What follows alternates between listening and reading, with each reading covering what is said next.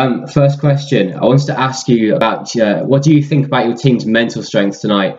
3 0 down, and Antonio Conte is a new manager. The players may have been feeling that tonight was a script. Maybe it was inevitable that you were going to lose at that point. Um, and yet, what a battling performance to come back into the game. What can you tell us about your team's mental strength in this situation? Yeah, absolutely. I think it was from the mental side, it was really a, a strong performance.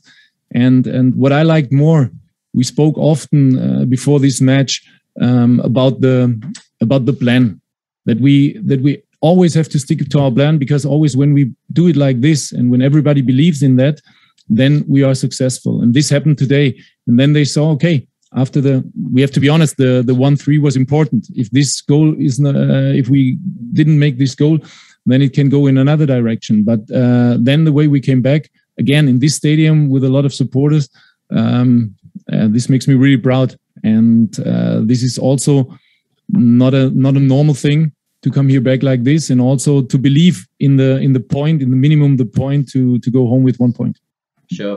It's also not a normal thing for a medium-sized Dutch club such as Vitesse to be doing so well in Europe. So can I ask what has been your secret to get a Dutch club this far through the qualifiers and on the brink of possibly qualifying um, past the winter into the spring in Europe? What have you? What exactly have you done with this with this side? Yeah, I think we we um, how can I say we have clear principles how we want to play and and for us it's important it doesn't matter if we play against the team in the league on a lower uh, position or if we play here at the Spurs we want to stick to to our principles how we want to play and and today it was clear we we want to press the opponent high so any op- opponent all over the world if you if you make a lot of pressure to them with clear principles and everybody knows exactly what to do then you have a chance to to force uh, mistakes or errors from them and and this we we decided at the end when we look at the second goal, this is the risk in this kind of football. If you have then a quality player like uh, Harry Kane on the pitch, um, to to lose one duel and then it can be dangerous. But I think it's important to have a clear philosophy how you want to play, and and this we we work on now uh, one and a half year. And at the end, the result is that we can sit here, can be proud of our team, what we uh, what we did in this evening. Oh, good for now, Michael. Or do you want a last question? Yes, do you want the last one or? Yeah, one last, last question, one. please. Um, what were your thoughts, Thomas, on the red card for Markus Schubert? Yeah, I was really angry about the red card because I saw the linesman standing exactly in front of the situation, and the linesman uh, made uh, he showed, hey, his arms were like that, so it was no hand, and therefore I was uh, surprised on the one hand that he uh, took the uh, that he showed him the the red card. On the other hand, I think it was not the right decision. But this is also the problem in the conference league uh, you have no VAR, so we have to accept this and the only yeah the only thing we can change we have to play next year in the champions league then we have a VAR.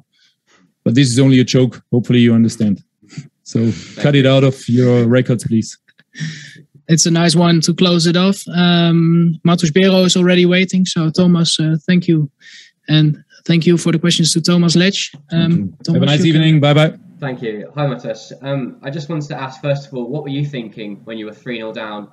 Um, and you know, you've got Conte as a manager, uh, uh Spurs manager, just come in. I just asked Thomas Letsch about the mental strength of the side. What, what did you make of it?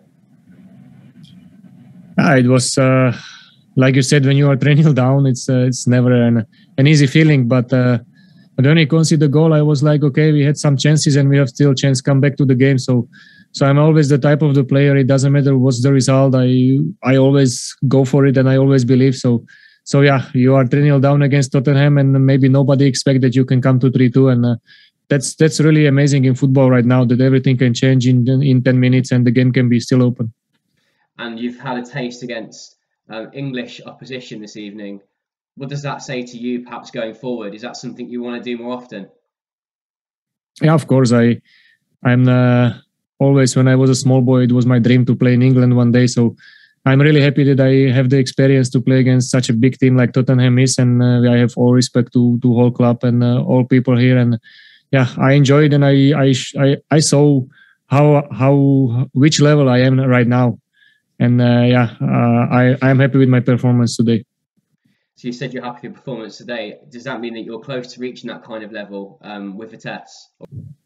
today it was a game where I show who I am and how I can play, and uh, I'm really happy to be where I am now, and I'm proud that I can be still player of Vitesse, and uh, I always do my best. So what's happened in future, like I said, the dream for me is a Premier League, and uh, yeah, I'm still here, and until I will be here, I will always fight for my club. Doesn't matter where I will play.